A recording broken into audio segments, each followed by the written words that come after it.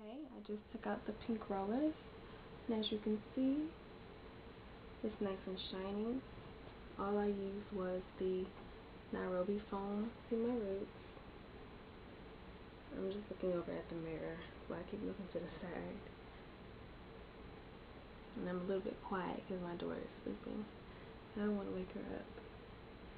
Um, so yeah, it's nice and shiny, nice and bouncy. That's what that Nairobi foam does to your hair. It's the best. Gives it shine, bounce, and it molds and sculpts your hair. I don't know if you guys can see my edges.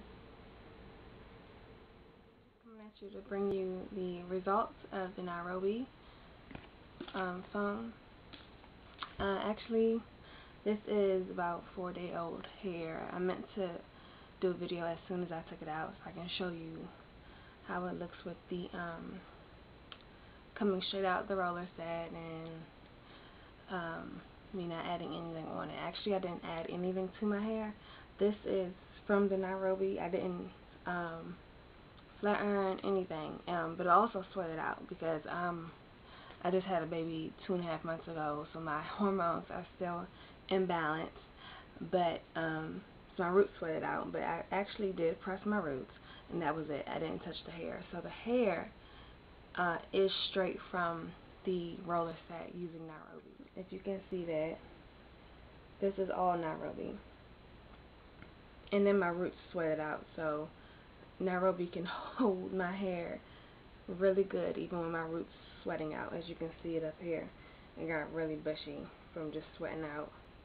I'm just Nairobi. trying to make a point that Nairobi, even if you sweat your hair out a little bit, Nairobi can still manage and work around that. It can still leave your hair laid down nice and flat.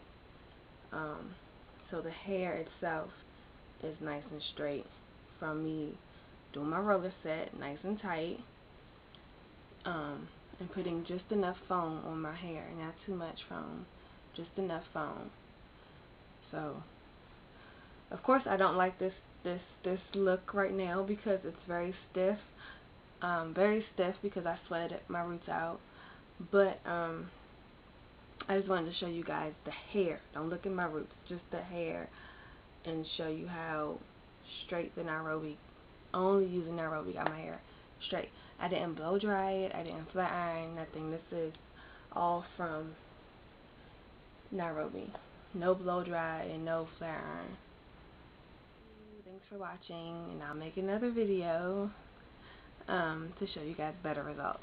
Okay.